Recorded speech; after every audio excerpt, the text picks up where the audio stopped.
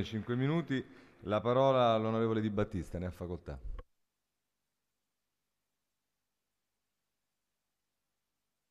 Grazie Presidente. Quanto tempo ho che non ricordo? 5 minuti.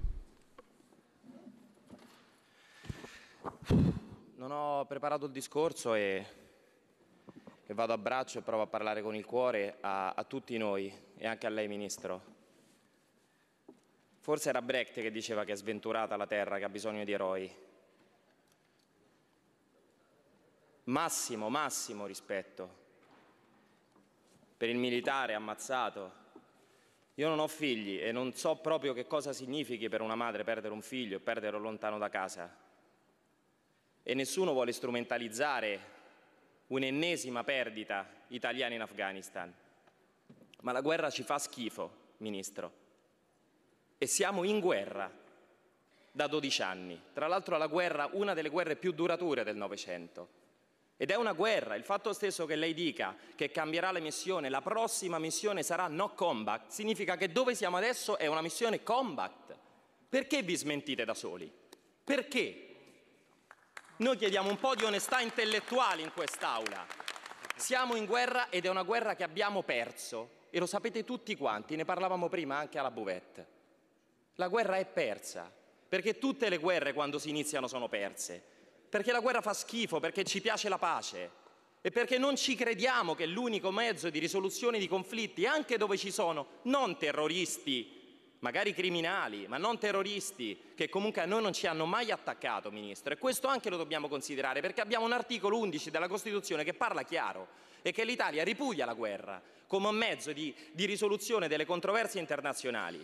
Possibile che nel 2013 ancora diciamo frasi che dicevano gli antichi romani, Ministro?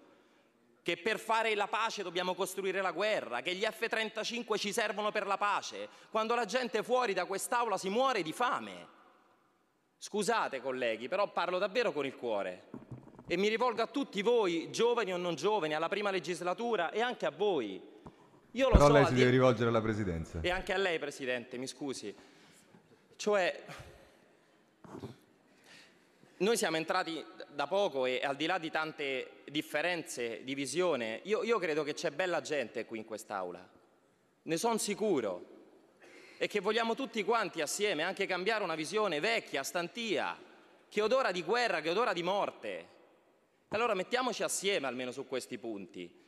Il Movimento 5 Stelle l'ha presentata immediatamente una mozione di ritiro delle truppe dall'Afghanistan e noi non vogliamo che tornino domani così. Abbiamo chiesto al governo di riferirci un'exit strategy vera e propria. Che cosa intendete fare? Ma quello che dicono dalla Nato, Rasmussen, è che abbiamo già dato l'ok per proseguire a stare in Afghanistan e se i talebani spareranno che facciamo? Non, non, non, non spariamo? Io sono obiettore di coscienza, ho scelto di non prendere mai un'arma da fuoco in mano, perché anche se mi dovessero attaccare io non voglio rispondere con un'arma da fuoco, perché credo che la pace sia l'unica, l'unica, l'unica risposta. L'unica e non abbiamo utilizzato nessun altro modo per risolvere quel problema devastante che c'è in Afghanistan e la pace vale anche per i cittadini afghani. 70.000 morti, signor Ministro, e quasi 5 miliardi di euro, non per fare il venale per l'amor di Dio, prima vengono le vite dei nostri militari, dei civili afghani e poi quattrini, ma 5 miliardi di euro, più del gettito IMU sul quale si fanno campagne elettorali. Scusate ancora, colleghi e Presidenza, ma ci teniamo davvero a provare a, a portare un, parole di cambiamento in quest'Aula.